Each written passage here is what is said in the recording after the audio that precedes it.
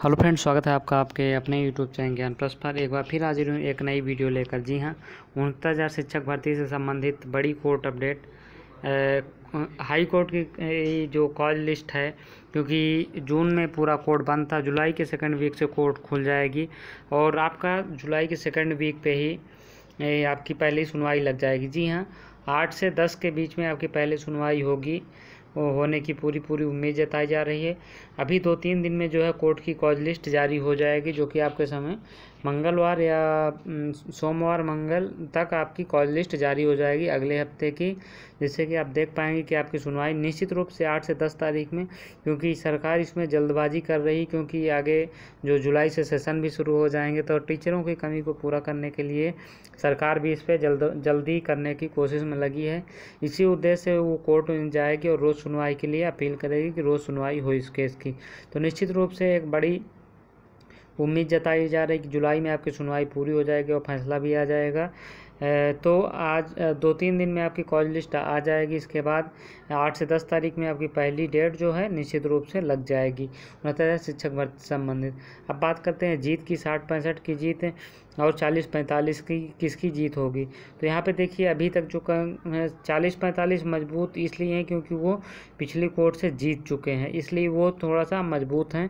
एक मानसिक रूप से वो मज़बूत हैं। वहीं जहाँ साठ पैंसठ की बात करें, भले वो अपनी उस पर मज़बूत हों कि क्वालिटी एजुकेशन की बात हो या जो थे इसमें अच्छे अभ्यर्थी थे, वही इसमें शामिल हुए थे।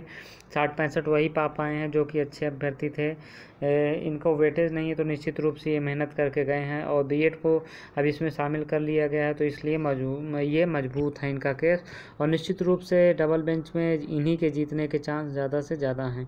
वहीं चालीस पैंतालीस की बात, वो एक पिछला केस जीते हैं, इसलिए मज़बूत हैं और दूसरी बात, बस सरकार की एक गलती की वजह से ये मज़बूत इसलिए हो जाते हैं क्योंकि सरकार ने पासिंग जो है पासिंग मार्क्स रिज़ल्ट के एग्ज़ाम के बाद लगाया था। यही दो पक्ष इनके तरफ़ है, बाकी जहाँ बीएड वालों का, यानी कि साठ पैंसठ वालों का पक्ष है वो ज़्यादा मज़बूत है, क्योंकि क्वालिटी एजुकेशन के अलावा सरकार स्वतंत्र होती है, वो कब जो है मेरिट डिक्लेयर करे कि पासिंग मार्क्स कभी भी लगा सकती हैं।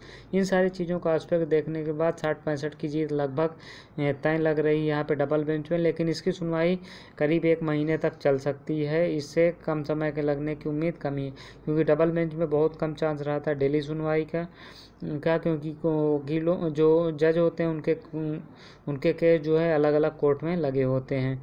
तो इस वजह से, लेकिन उम्मीद है कि आपका जुलाई लास्ट तक या अगस्त के फ़र्स्ट वीक तक आपका डिसीज़न आ जाएगा और आपका पूरा केस निश्चित रूप से समाप्त तो हो जाएगा।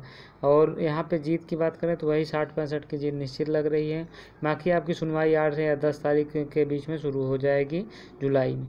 तो देखते हैं क्या होता है कोर्ट में। कोर्ट की अपडेट आगे लेकर हम फिर हाजिर होंगे। तब तक के लिए धन्यवाद। वीडियो को लाइक, चैनल को सब्सक्राइब करना मत भूलिएगा। Thank you thank you very much.